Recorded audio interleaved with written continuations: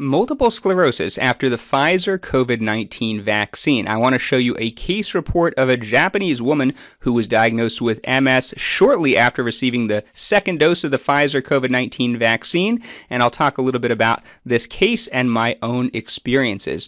So, multiple sclerosis is a reasonably common disease. In the United States, about 1 in 350 people have it, but in Japan, it's significantly more rare, and this actually is likely genetic. Asian people in general general, regardless of where they live, including the U.S., seem to have a lower risk of MS. And this is the first such case after the vaccine that was reported, and so that's why it's sort of notable.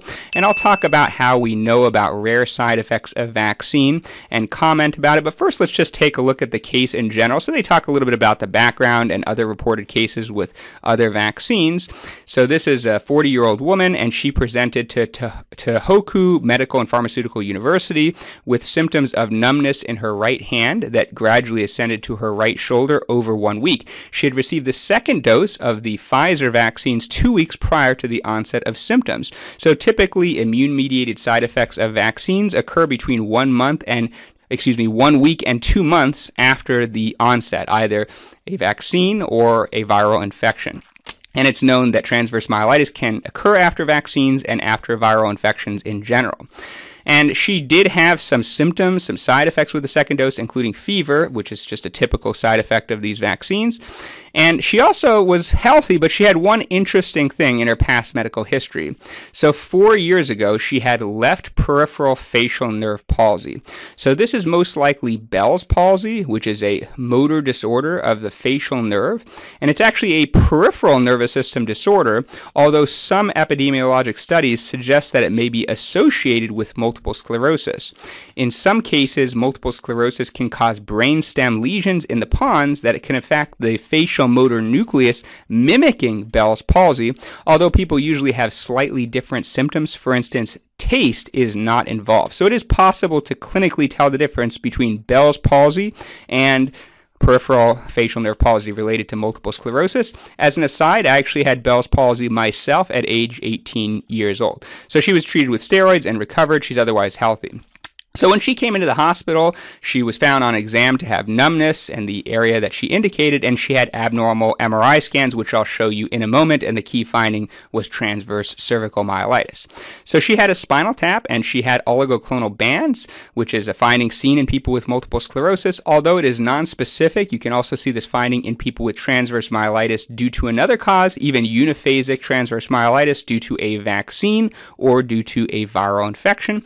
They tested her for various other conditions which could cause transverse myelitis, but they were all normal, including tests for neuromyelitis optica. So they concluded that she had multiple sclerosis. They gave her high dose steroids, methylprednisolone 1,000 milligrams for three days, and she completely recovered and she is doing great, which is wonderful. So here are MRI scans. This is the MRI scan of her brain, which shows three lesions. One lesion is in the left anterior periventricular subcortical white matter, and a few small lesions in the subcortical frontal frontal lobe white matter bilaterally. Now, one comment on these MRI scans is these lesions, although they could be consistent with multiple sclerosis, they're a little bit nonspecific. So, if I saw this patient, I would say, I'm not sure about those lesions. They may be chronic. Classic multiple sclerosis lesions are in the periventricular area touching the ventricles, not like this lesion. They can be juxtacortical immediately under the cortex in the corpus callosum or brainstem. So these lesions are a little bit nonspecific, and I'm not sure the diagnosis of multiple sclerosis is accurate, which I think the authors knew, as I'll show in a moment. So this could be just transverse myelitis with the lesions in the brain being unrelated to her condition. Interestingly, she did not have a lesion in the pons, suggesting the prior facial nerve paralysis probably was Bell's palsy. Now, more importantly, this is the MRI of her spine, and you can see at the C6 level there's a T2 bright lesion, and it does take on the gadolinium contrast dye, and it's posterior in location, explaining her sensory loss. This lesion actually does look typical of multiple sclerosis, though it could also be seen in transverse myelitis related to a viral illness or vaccine or due to another cause.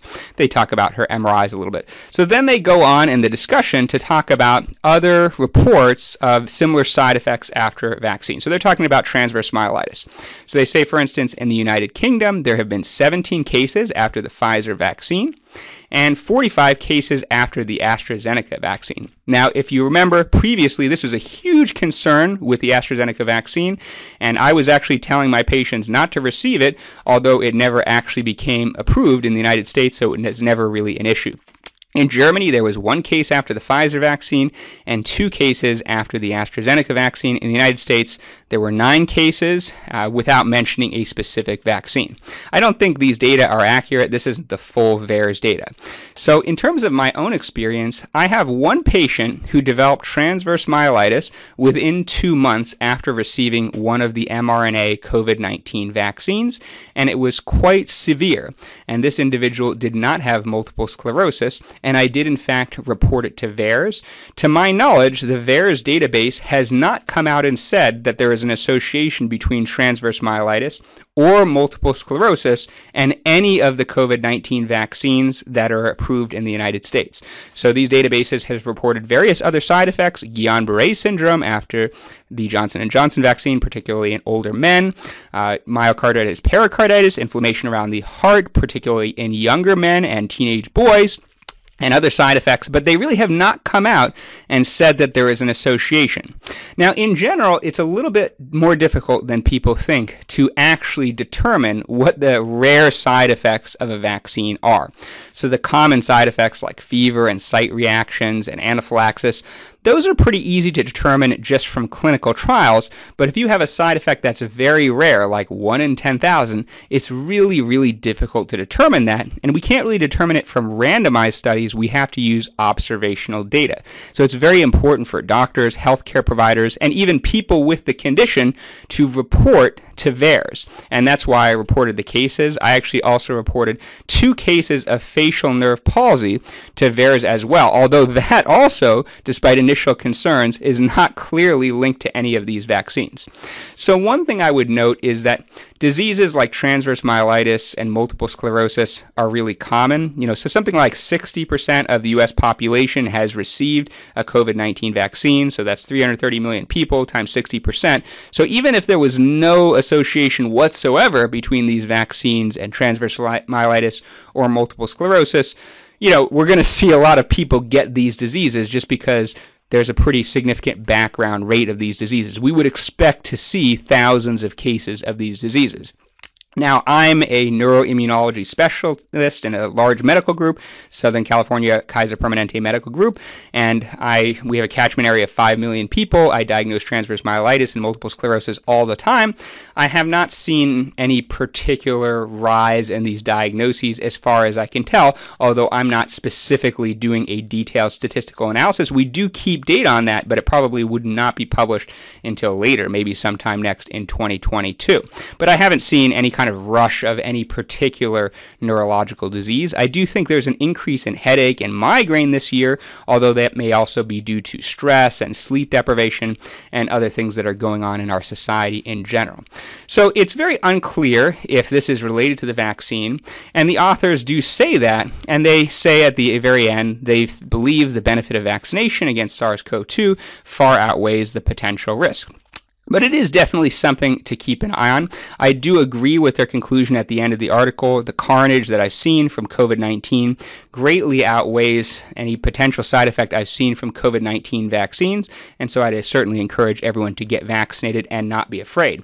What about people who have had these diseases before, like transverse myelitis or multiple sclerosis? Well, there is a case series on the Pfizer COVID 19 vaccine for people with multiple sclerosis, and they found found, and they mentioned in this article, that the rate of relapses was approximately 2%, which is similar to the background rate of relapses in a period without vaccination. So the observational data suggests that these vaccines do not seem to increase the rate of relapses. So I don't know that this is making people more nervous or less nervous. Certainly we need to keep an eye on this data. And if you have any other questions, please post in the comments below.